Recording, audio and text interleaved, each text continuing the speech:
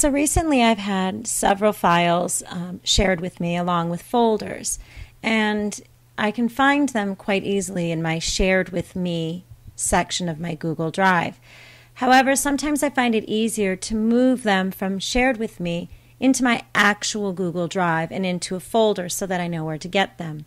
One example is my students. I have them each create a folder at the beginning of the school year and you can see here is Alain's and here is Hennessy's.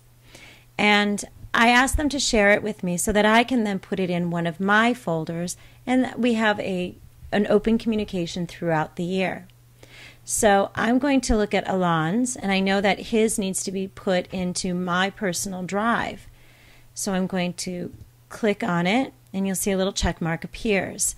When that check mark appears, you see I have several options here at the top. I'm going to choose the folder icon, which is to move it. I then go down to my student work because this is where I want to place it.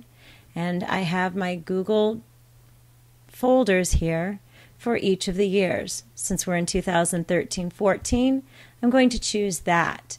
So you see a little check mark appears. So now I'm going to choose the move and then that Alain's folder has been shared into my personal Google Drive. So when I go over here to my student work, I choose it.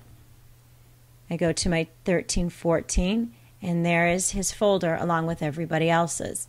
It just makes organizing a little bit easier for me. Hope it was helpful for you.